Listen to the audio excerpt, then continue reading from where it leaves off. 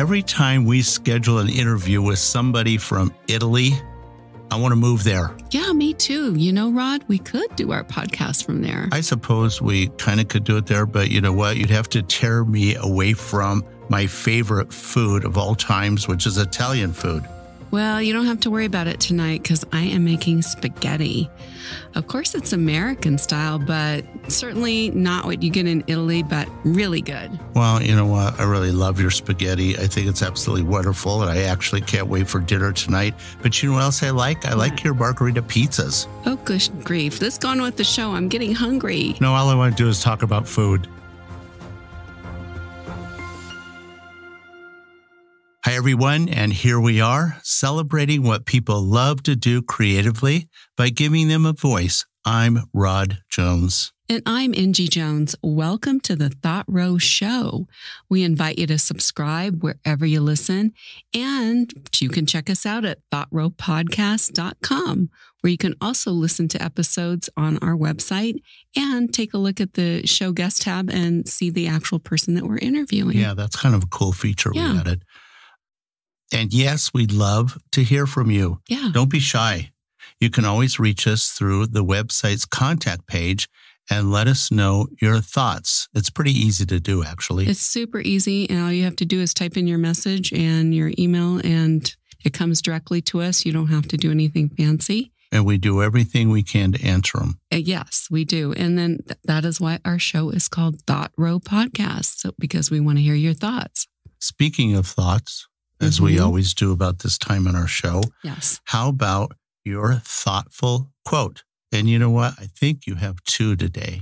I do because I couldn't decide on either one. So I figured I would just read both of them because they were really nice. So the first quote is You may have the universe if I may have Italy. And that is by Giuseppe Verdi. Wonderful. And the second quote is The creator made Italy by designs from Michelangelo. And this is by Mark Twain. Wow. You know, I, I don't know that I would necessarily think that Mark Twain would come up with that. I have a ton of respect for him, I or respect for him, but I know he's traveled extensively. He traveled in Italy quite a bit. And I think he brought back his thoughts and ideas, and they ended up in some of his books when he got back to where? Hannibal, Missouri. Yeah, Hannibal, Missouri. It seems like a long way from Italy, but he was very uh, curious man and liked adventure and liked life. And equating that his writing style with Michelangelo, I think that's very special. Yeah. You know, the guy is brilliant and very attuned to life and people.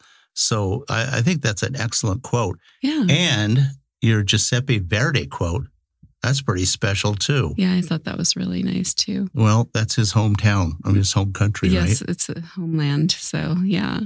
But now it's your turn, Rod. So we are ready for Rod's motivational moment. Might be a little anticlimactic after those two No, great no, no. quotes. Okay, so here it is. Your life's attitude is nurtured by your daily gratitude. I'm going to say So that again. true. Your life's attitude is nurtured by your daily gratitude. You know, that is the true statement of all, I think. And it's sometimes it's hard because you don't you don't feel like you want to be gratitudey at all. Well, you know, when I was uh, trying to come up with one and I was uh, had my pencil and paper and I was kind of fooling Yeah. around with this and I, I started to actually think about my attitude. Yeah. And then I also thought that I have an awful lot to be grateful for.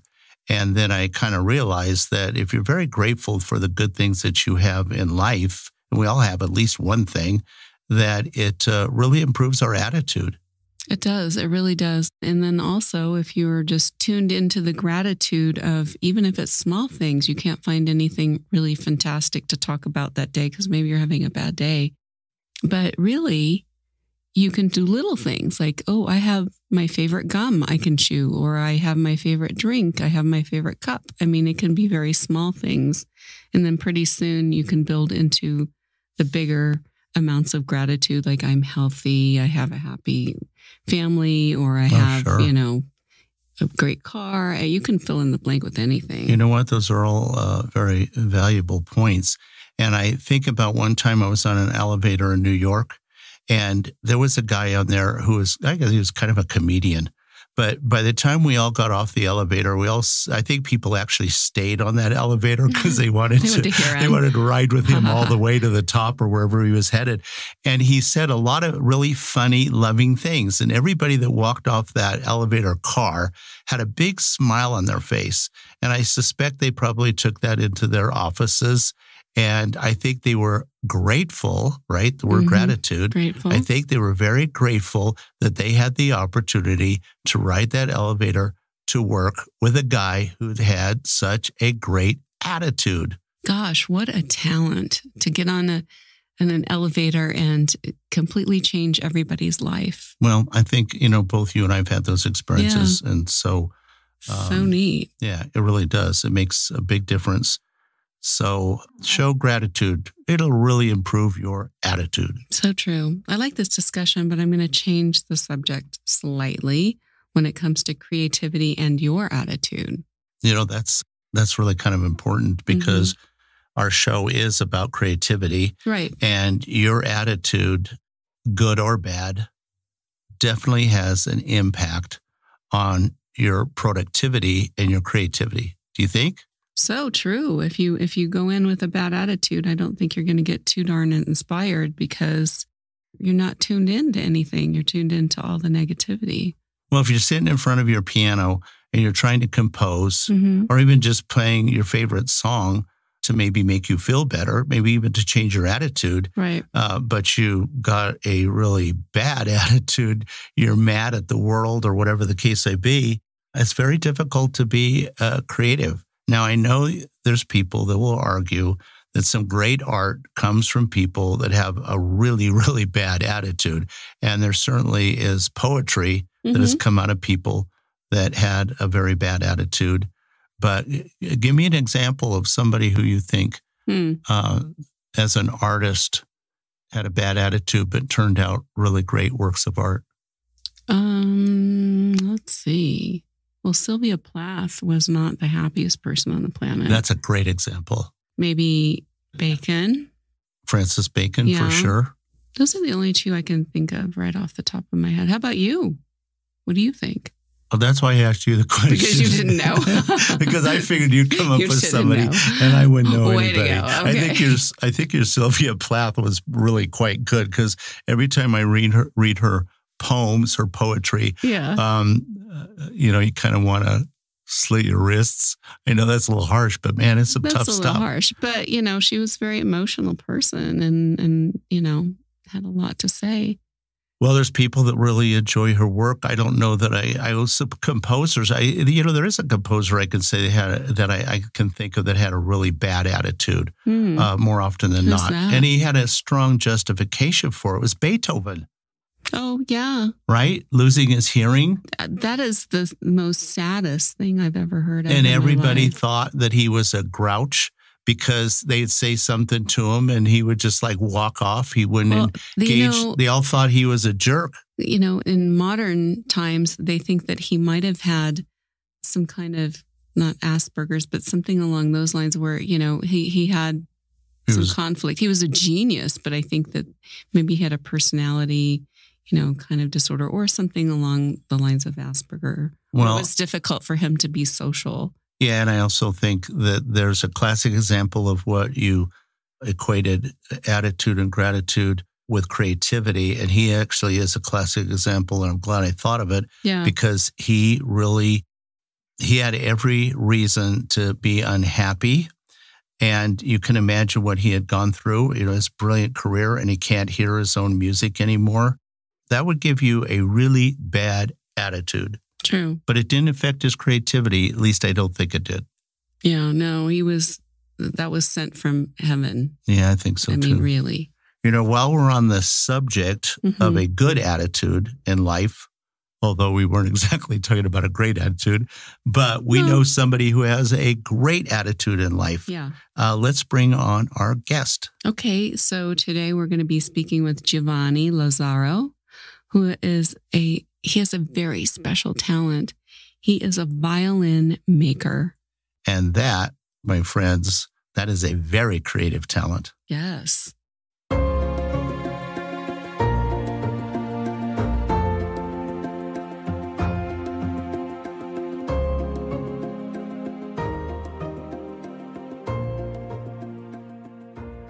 As many of our listeners know, we interview creative people that are passionate about what they do. Today, Angie and are happy to welcome Giovanni, the violin maker. Yes. And on the phone with him will be Linda Winter, who's an artist and the one who introduced us to Giovanni Lazzaro. And also, Linda was on uh, a podcast that we had. Yes, she was. A few episodes back. So if you're listening to this, you may want to also listen to Linda. And Linda has been a driving force in setting up this call and will help with some translation with Giovanni because we are not very fluent in Italian. Uh, to say the least, we are definitely not fluent. In fact, we're not all that fluent in English I today. Know, some days, yeah. yeah some days. it's true. Okay. So are you guys there? Yeah. Yeah, yeah, we're yes. here. We're here. Hello. Hello, hello, hello. Hello. It's good to have you here with us today. Now, okay, before we start our interview, Giovanni, we always like to ask our guest, what did you have for breakfast? So, what did you have for breakfast? I, I had eggs. The lovely Michael, who puts up with a lot from me, cooked me eggs. That was nice. Giovanni has a very Italian taste take on breakfast. and what was it? What did you have? Ah, yes, it's uh, a typical Italian breakfast this morning, and uh, milk and some bread and um, fruit. I love to eat fruit uh-huh. because uh, I, it's very typical, normal Italian coffee. That's very different from the American coffee. Oh, yeah, so for I, sure. Yeah, so for yeah. sure. Espresso is very, it's very different from the American coffee that I tasted many years ago. And um, this is a typical style to have this breakfast, very easy, very tastefully in the morning, and just to goes out home because you have to go to work, you have your son, your your child, right? Yeah, right. On, uh, and so t- typical life. Well, so, you know what? It sounds, it sounds refreshing. It's sounds very refreshing, easy and refreshing, healthy, and give you a lot of energy. Absolutely. Yes, absolutely. Some energy to to enter in your world, no? Yeah. Right. To do your best because I learned from Japanese philosophy, I love them, uh, that every day, no, you have to do your best, simply. Yeah, absolutely. I know I know Angie has this question for both of you actually. Yeah. Well, let's start by asking you where are you talking to us from right now? Okay where we are, we are in the outer room of Giovanni's workshop. There's an outer room where normally he has his assistant, and then you go into the music room, which is wonderful. It has a cupboard that is full of most beautiful violins, and then into his workshop, which in actual fact is very similar to a carpenter's workshop. There is a bench, and there are carpenter's tools and there's a view out of the window um, onto the, the square. We're in a place called Piazzale Mazzini, which is the little um, the little area of the Piazza Mazzini. And, and Mazzini was one of the great um, men of Italian history and helped to unify Italy. Oh, nice. That is wonderful. You know, there's an interesting story behind how you two met. Yeah. And Linda, and how you introduced us to Giovanni, the violin maker. Tell us a little bit about that. Okay, basically, I bought his house. well, that'll work. wow, that yeah. works. um, so, so it was wonderful. I, mean, I, I, I came to Italy on a teaching contract, and then realised that actually Italy felt like home. I went to a place called Monselice on a hot. It was actually in February, February, early March afternoon looking for a gelato because I was very fed up. Uh, found the only estate agent that was open in Monselice. And in it was Giovanni and Laura's house. And then we arranged to go up and look at it. And I opened, well, Giovanni opened the door, and there's three steps up to the door. And I looked at this, what appeared to be an immensely tall man with an awful lot of hair. Um, and we met, and we've been friends ever since. And um, Oh, how nice! What's what's not to want when you get a chance to buy a violin maker's house? Yeah, for sure. and then I remember you telling Angie and I, even on a past conversation we had prior to us even doing the podcast with you, you mentioned Giovanni and the fact that you purchased that home and actually you've made drawings of it, which are really quite wonderful to look at. But mm-hmm. that's, uh, well, thank you so much. Thank you for being on our podcast and thank you for introducing us to, to Giovanni. Giovanni yes. what, what, are you going to say, Angie? Well, you know, this question is for Giovanni. Before we go yep. into the craft and art of making string instruments, tell us a little bit about your early life growing up. Oh, it was uh, my approaching the violin making field. It was absolutely, it was my father. Mm. That when I was young, just we were eating a lunch together with my mother, and they just simply asked me, "Why don't you, don't you think about to become a violin maker?" And honestly, I didn't know the term. What is maker? I didn't know. And I went, uh, my father, uh, that was a teacher, he just uh, told me, take a look on the, on the dictionary. What does it mean? And so I went to his studio and I opened the dictionary and I searched for violin making. It was a liutaio. Liutaio, we say in Italian. And uh, I found that he's who makes uh, violins, violas, and cellos. I didn't know. It was the first time in my life that I heard this term. And uh, I simply became curious. I say, oh, why not? And so we went to visit the violin making school in Cremona. It was uh, 80, 1980. And we went there with my mother, my father, and we went into this classroom where there were some uh, schoolboys that were carving, uh, working on their workbenches, doing some different works, and I was absolutely fascinated. And uh, I fallen in love suddenly when I turned my eyes in a and I saw somebody that was carving a strange things that is a scroll, the scroll, the volume, volute of the cello. And uh, I immediately say, wow, this is incredible. Oh, and nice. I, yeah. I turn back my eyes to my mother and I say, Mama, I will do it. And this is simply the, the true history. And then the, since that time, I'm working on pieces of wood, making scrolls. Me too. you know, it's really uh, an interesting story. And you obviously were meant to yeah, do to this do for this, a living. Right. And I think it's kind of a blessing that your father made that suggestion to you because it gave you an opportunity to develop a passion for something. Mm-hmm. Uh, Mike, I also have a question about that because I know you've developed a passion uh, for music. Can you tell us a little bit about that?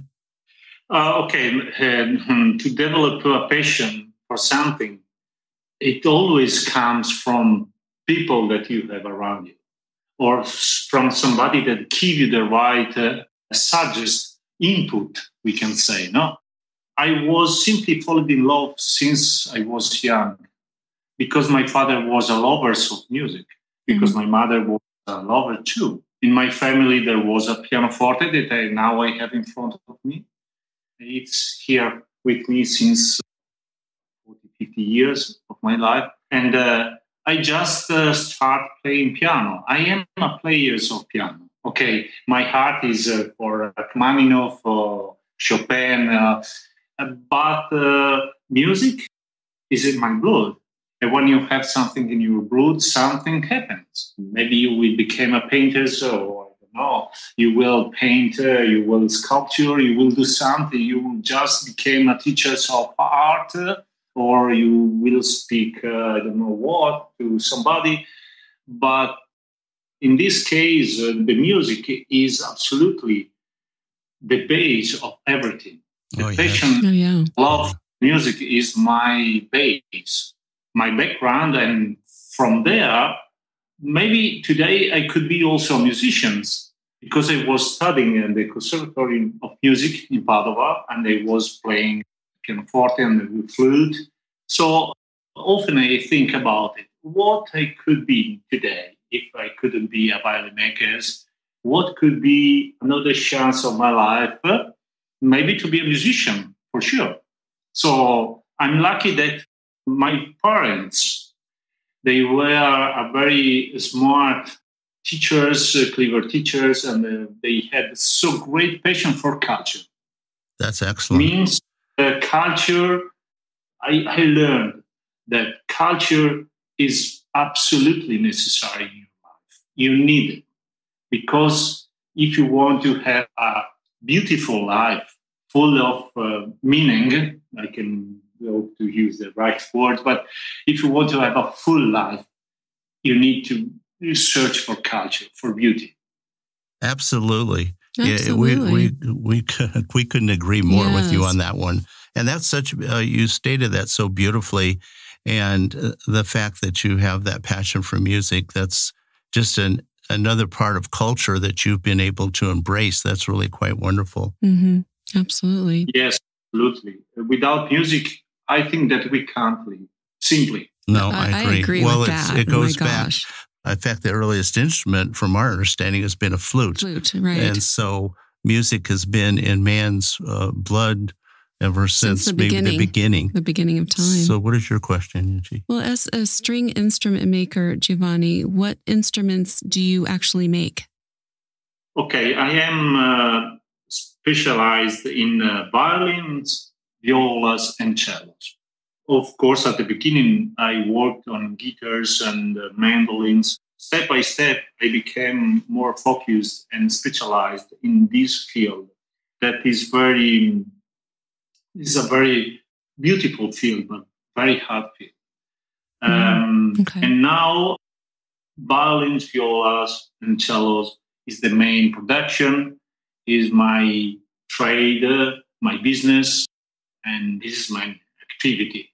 Of course, I do many other things related to the stringed instruments, uh, to the, to my clients' activity. Of course, right. I supply with many services, but uh, my love is to restore, and maybe when I have time, to make my own instruments. Oh, that would be great. Yeah. You know, there are many t- different types of string instruments and you just kind of went over your favorites, but could you give us a brief explanation of what each of your favorites actually do when it comes to a symphony? You have a you have a lovely explanation in relation to voices. yes, okay. I love this stringed instrument, and everybody have a, a quick uh, feeling with violins as well as with cellos because they they reflect the human voice. This is also the reasons why these instruments are being created at the beginning of 16th century in Italy, just to reply uh, to sustain the voice, the choir. Okay, what uh, is incredibly beautiful about this instrument is that they give you a deep sensation, a deep feeling of uh, warmth, of beauty, and uh, they can uh, move your heart. They immediately give you a, an embrace. It's like an embrace. And um, this is what I love about these instruments. Of course, I love any kind of instrument. Mm, okay? Sure. But the human voice that has the violin, as well as the tenor voice that has the cello. Uh, they can give you an incredible, deeply sweet sensation. And any, any everybody, uh, all of us, we have different uh, taste. We have different ability in uh, have own uh, a, a nice feeling special feeling uh, with uh, this kind of sound, in spite of that kind of sound, for example. And uh, so the same sound give us uh, different opportunities. We can uh, receive this emotion, and each one can uh, keep it in different way. And this is the beauty of the music, of course. I think that's a, a beautiful explanation. Yeah, it really was a beautiful explanation. Uh, yeah. Really. Yeah. This is the, the, beauty of, and please let me know, uh, let me say, sorry, that uh, no, the, the live music is absolutely different from the recorded music. Oh, in spite yes. of me, okay, the recorded music is an incredibly beautiful tool, we can say, to spray the music. But the live music is something I, I experienced that I would like to suggest to everybody. Goes to the concert in a live concert. L- listen the music live because it's absolutely different. It's Oh, a- it's completely Oh, different. yes. It's completely different. And we've had that experience ourselves. In fact, I think you, we all discussed that in a past conversation that what you hear on a lot of people listen to music on their cell phones, Right. and there's nothing like the Yeah, acoustics. nowadays especially. That's yeah, and nothing like the acoustics that you hear in a live performance. It's just Mhm. incredible. And you also, I think, pick up the energy from the musicians too. You actually see them playing, they give off their own energy, and you can see how passionate they are when they're actually participating in a piece. And if it's a concert, then you also have the conductor directing everybody. So it's just very exciting all the way around. And we agree with you. We we highly recommend that anybody that has a chance to go to a concert, even if it's just a string quartet, it's well worth the. Absolutely, well it worth is. it. I remember us uh, going to a few string quartets when we were in Europe, and oh my goodness, the sweetness that you heard from the string quartet was does not even measure up to a recording. And Giovanni, you live that life. Yes, you do. You get to hear that for real all the time. Yeah. So very cool.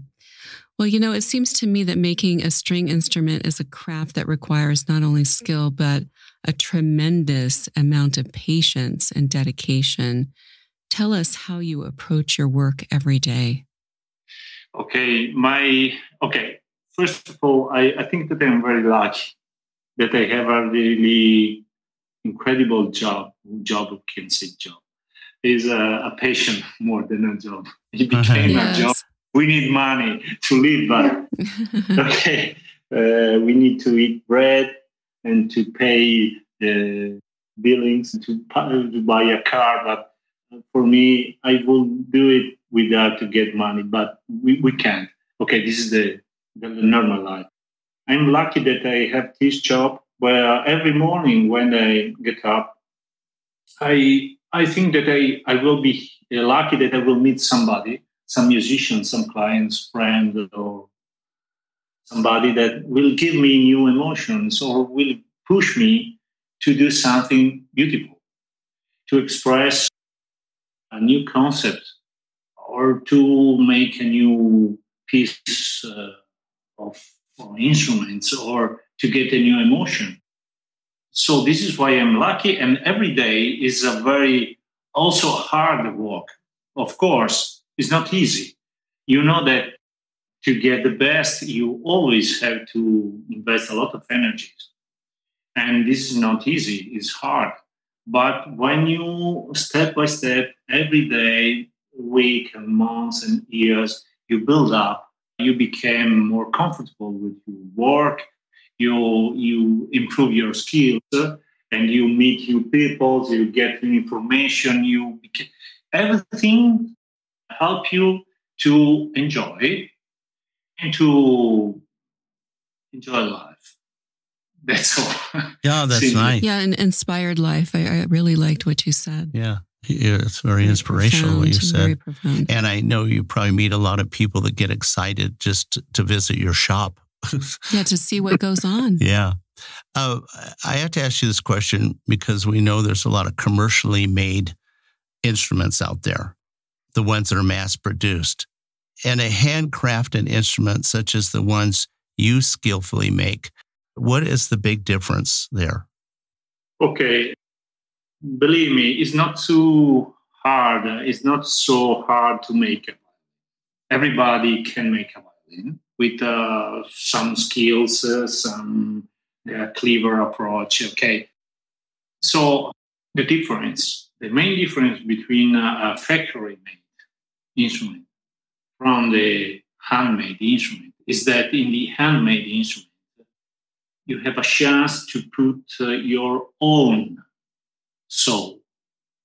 Uh, it became uh, your instrument is your only your instrument. There's only one instrument like yours. Uh, is a unique production, and your sound is your sound. With the factory instruments, uh, I have great respect because you know there are so many people that you want to learn to play violin. They can afford immediately uh, a huge, uh, a big expense. Okay, so they can introduce many people to the violin.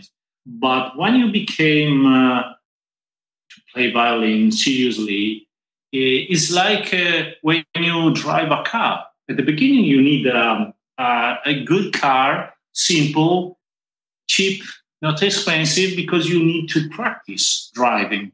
But when you became one day, for example, you are so good in driving and you became a driver, professional drivers, a sport, you need a sport car and you want to race with cars, you need a, a top race car. So uh, the handmade instrument is uh, like a top race car. It's like a Ferrari. It's hmm. like a Porsche. Yeah. It's a very expensive car where you need the skills to dominate the car. You know how to use it. And uh, the car is so powerful that you must know how to, to keep it in your hand. It's the same for violin. A really nice, great violin give you a race car in your hand. I hope that this explanation is. Uh, it's perfect. It's that is wonderful. A, that's a, analogy is excellent. I love it, and and I love having a race car in your hand because it really is like that. You get that same exhilaration and the same and feedback and the fr- same freedom that you can feel by going very fast, right? Yeah, yeah. Okay, so Giovanni, string instruments are primarily crafted out of wood.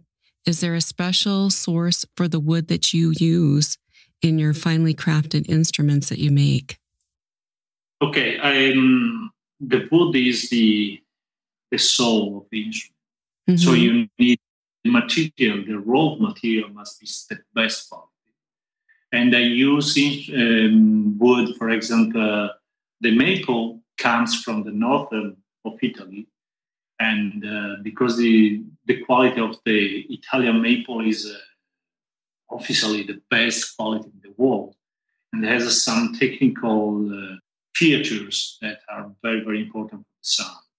The maple is mainly used for the back ribs and scrolls of the instrument is coming from Balkan area, Serbia and Herzegovina and ex-Yugoslavia to, to, to.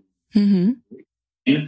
It's very, the quality of that maple is absolutely the best one okay, we are speaking both for the beauty, aesthetical beauty, but the wood mainly is for the sound.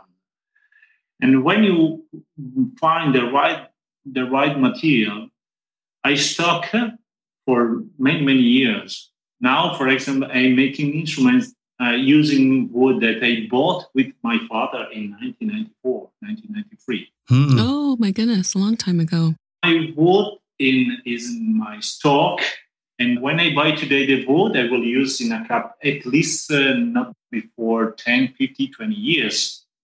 Okay. And uh, if you want to make a great instrument, you can't use a cheap wood or bad wood. Okay. Coming back to the race car, if you have a top car, you will use a Goodyear Michelin. Sure. Sure. Tires. You will never use cheap tires. Okay. It would be dangerous. The same thing. You need the best, absolutely the best material because with the best material, with your experience, your skill tools, you can understand how this material, just touching, just watching, how it will sound. And then you will create, since the beginning, your project is based of on the wood that you have on your hands. You say, okay, this is perfect for this kind of sound, and then I will use for this kind of sound. Or no, this is bad for the other kind of sound. This is a deeper sound. This will give a deeper sound, a more amber color sound. No, no, no. This is this will give a silver quality sound. Then it will be right for another kind of instrument. And without this knowledge, you can consider yourself a maker. This is my. You know, that is very interesting. And I don't think we ever really appreciate the wood, what it means to have the quality wood as well as the seasoned wood. Obviously, you season your wood, it, you keep it for a long time. So even the wood itself uh, matures in its resonance. But we know from earlier conversations with you that every string instrument that you make has its own unique characteristics and personality. Could you share with us what that means? we can speak hours, but we will try to be to be brief, uh, to to say to explain quickly. Uh, it's so complex. Uh, this is really the the focus of. So you have in front of you the musician, and maybe for sure we will speak about the musician later. No, but you have in front of you a great player. This great player has his own taste. When you make an instrument, you have to match his taste. And in the meantime, to, to mm, give an imprinting of your point of view. So the instrument became a perfect mix of uh, the request of the client and your taste. You mix together, and then you have to make something that give the great support to this musician and reflect his quality of sound, his quality of playing. And this is the most beautiful uh, aspect of my work when I study and I speak with my client what we have to do, well, where we want to arrive, what should be the instrument play, what sh- how should it play, and the so every instrument is like a person for me. Mm-hmm. I could see that. Yeah, I believe that the instrument is like a person, like us, and he has his own uh, identity. He has his own uh, characteristics, uh, and he's a person. Absolutely. That's that's uh, that's a really good explanation. That's a, it really that's a great is. explanation, and I I understand from what you just said that you work very closely with the musician once you start crafting it. And you have to really understand and listen to his music, how he plays his style of playing. And then you have to design the instrument to fit not only, I guess you have to also make sure it fits him physically, that he can hold it properly. Yes, yes, you are right. You perfectly tell, you tell exactly.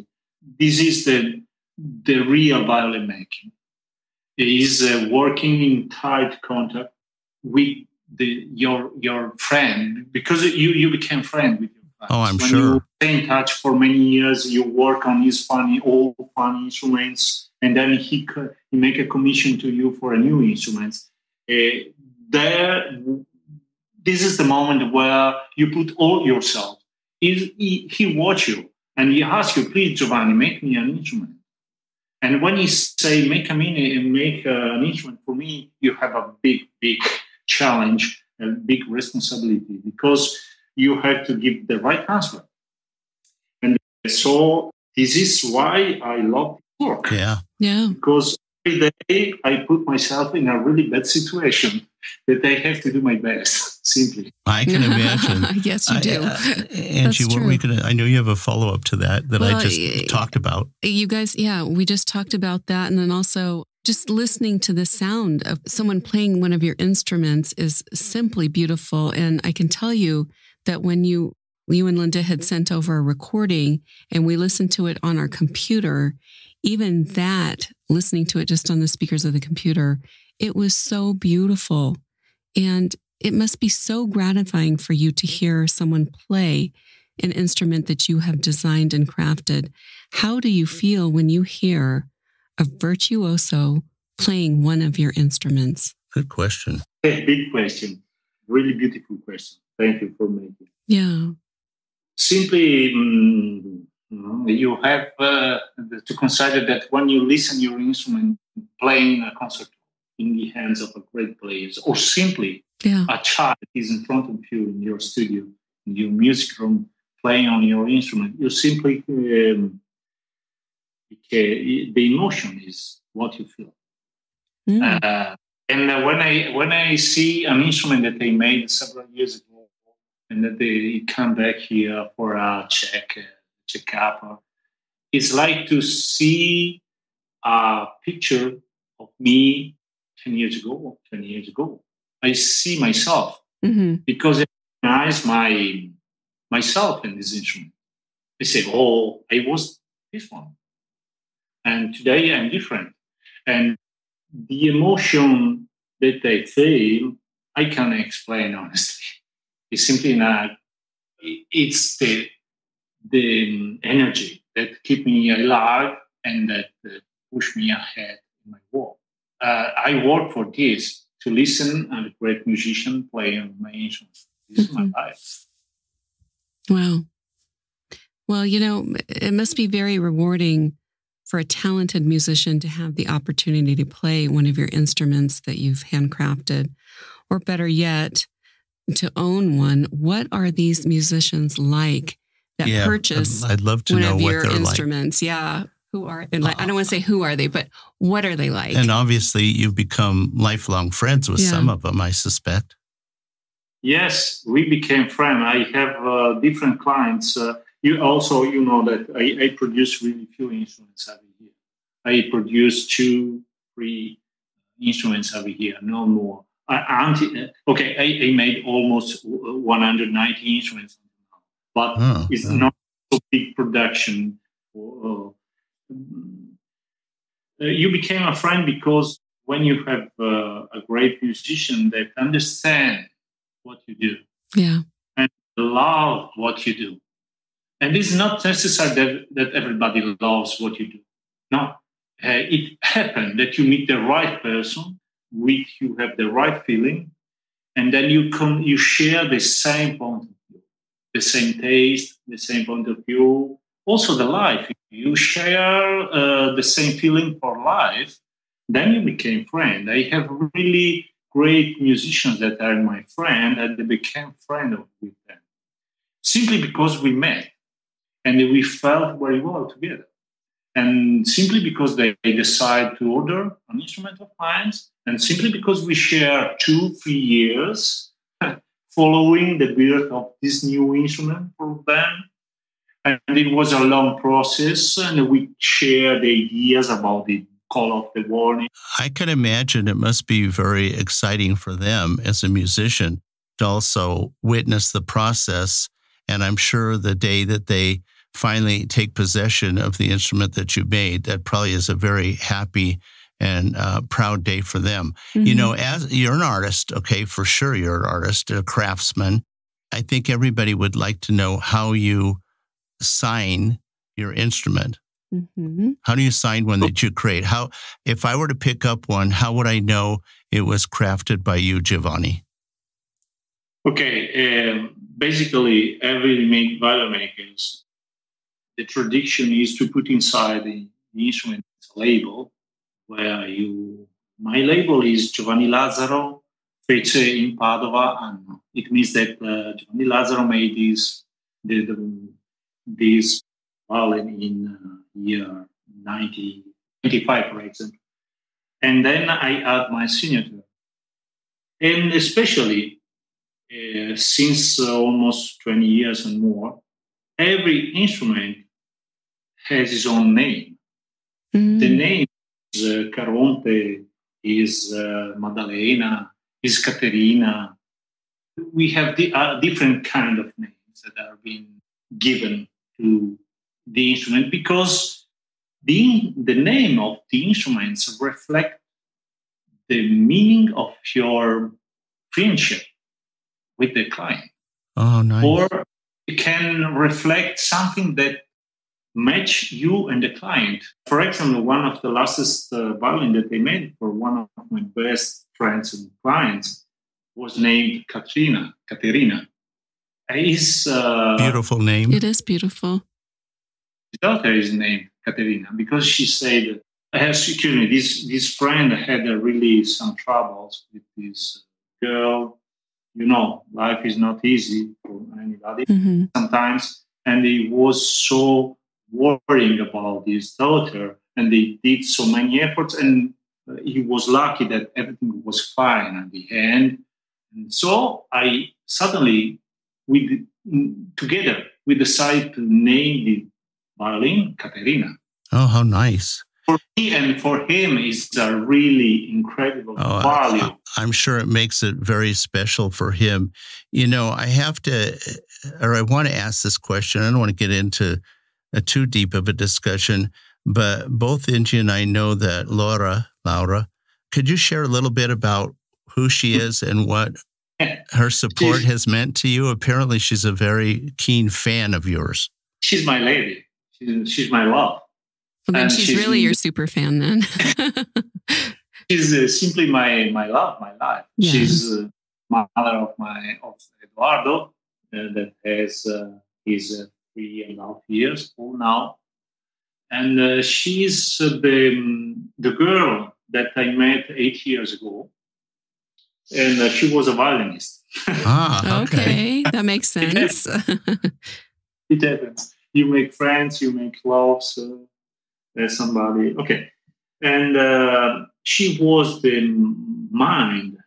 She was uh, an incredible, and she's still my best partner because uh, always Lara, she give me a point of view that is a really uh, an uh, external point of view. She look at me, she watch what I do, and uh, she always suggests me, no, no, no, you are worrying. You are making a mistake. No, no, you are doing well. No, no, do that. Or no, we have to change. You have to. So I'm so lucky that she's so clever and she's smart to give me always his uh, deeply loved subjects honest suggest. And she doesn't save uh, to tell me, no, no, you're doing, why did you do it? You are wrong. You are doing well. You must do better. And this pushed me always to change, to renew, to have new energy to put inside. Uh, uh, she was an incredible tank of energy. I can imagine. You know, you and I have something in greatly something in common because Angie is the same way for me as uh, Laura is for you. I can't tell you how many times that she's redirected me or redirected my thinking or said, hey, you know what? You could do this a little bit differently and it probably would be better. So bravo, you know, to yeah. your to your bride. What a lovely lady. But that I can understand where Laura is coming from though, because when you care for someone and you understand them on multiple levels, their soul, their creativity, and what their passion is in life, you want you want to be contributing to that and you have a real connection. So I can completely understand where she's coming from. Well, the fact that she played a violin Right. Well, but there's some there's some oh, understanding right, there. Absolutely. Must, if I can, I must tell you what happened. It was it's very simple and incredible for me too. After many years, I was with uh, okay. I had another life before. Okay, I have another son that is 21 years old. He's studying at university. Is uh, Lorenzo is my first son. Okay, I had another life. It happens. Okay, and um, but when I saw the first day, so Lara went inside my atelier for work on his violin. I never met her before, and uh, I simply went in front of her, and I was so astonished and amazed. I didn't believe. I said, "Wow, who's that girl?" and uh, after three days, we fell in love. Ah, how beautiful! it's I'm going to just I'm going to bring an extra voice in here, being somebody who actually knows these two. Yeah. But to be with them, the atmosphere between the two of them is electric. Oh, I can imagine. And she's very young and she's remarkably strong. And Giovanni often describes her as his tiger. Huh. And, and she she has the strength of, of a tiger. And she's just a total driving force in his life and a very, very remarkable young woman. It sounds she like sounds it. lovely. She sounds lovely. I'm going to ask you, Giovanni, a question that we ask everybody. It's sometimes it could be a tough one. but everybody wants to, an answer to this for sure. In five words or less, what would you tell people that want to live more creatively? And if you have to use more five words, it's okay. It's okay. it's all right. Very hard question. well, you've kind of you kind of addressed it in a lot of the things that you said, but if you're going to give advice to maybe even a, a young violin maker, what would you tell them? Just to enjoy. First of all, to enjoy, to express, uh, to be ready to to to be hard, to follow hard your your talent. If you have a talent, you you must exploit your talent. But talent is not enough. Never. You must practice hard. You must work hard, and you time. You need a lot of time because uh, today I have the impression that many many people think that to get the top is easy. You can arrive in suddenly to the success. You get success, really reach uh, very quickly. This is not true. In my experience, uh, uh, it's very hard, and uh, only few people can get. And these need uh, talent, application, a lot of energies, and a lot of mistakes too. Oh, sure. And, some you you know, in some I, I live to some moments in where I decide to leave to, to be a violin They say, okay, no more, stop. But you can and you must go ahead if you trust in yourself. See, that's that's like the perfect explanation of to enjoy your life and be a success with what you're doing. So yeah, it, you can't, fabulous. You can't give up. You no. may hmm. feel days like you absolutely do not want to do it. Yes. But sooner or later, the the. But then the next morning you get up and you're refreshed and you're like, okay, I can do this. Yeah. I can do this. I like it. Yeah.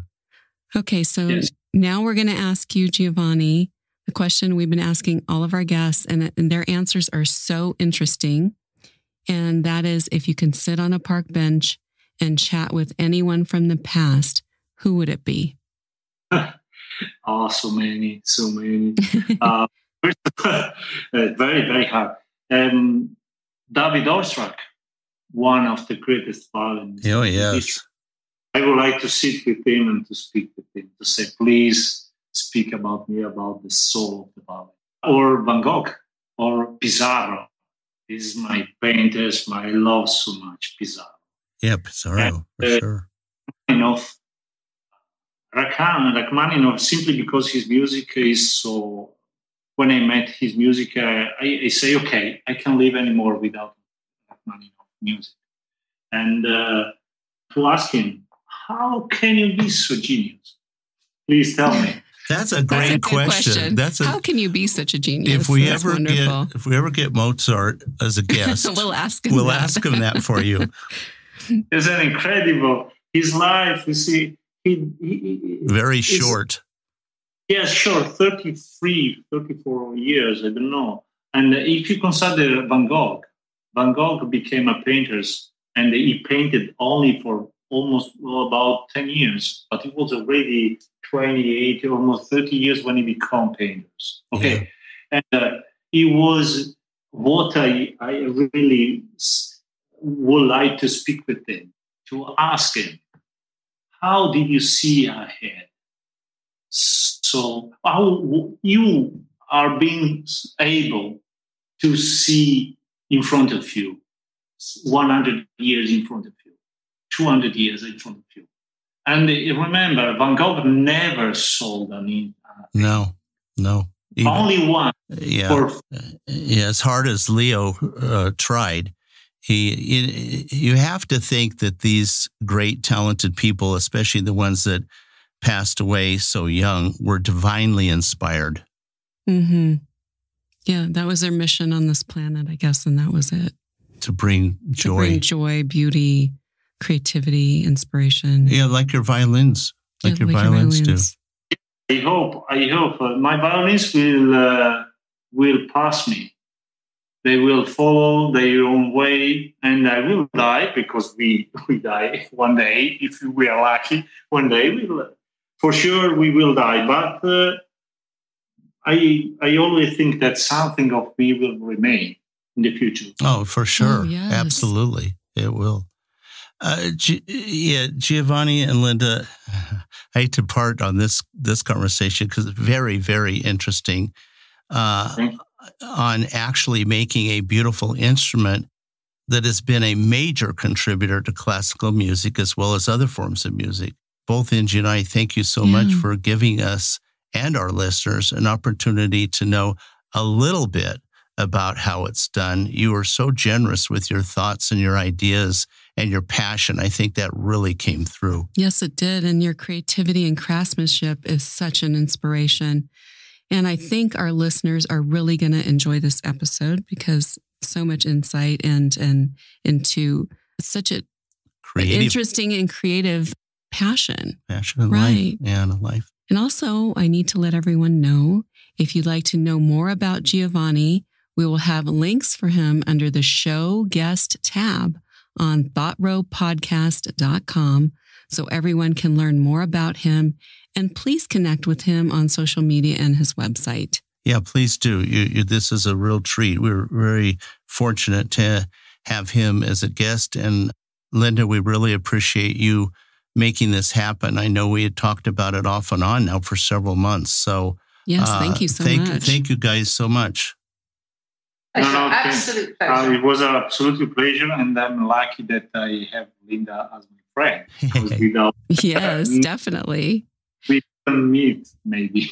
So thank you to you. You are being so uh, so kind to dedicate your to pay your attention to me, and uh, I have a, a big debt to to Linda for all these great shots. Oh, well, we appreciate both of you very much.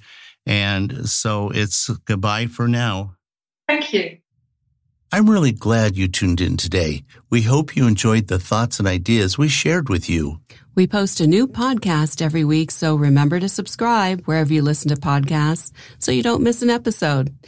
So it's bye for now from my husband Rod and I, wishing everyone a great day.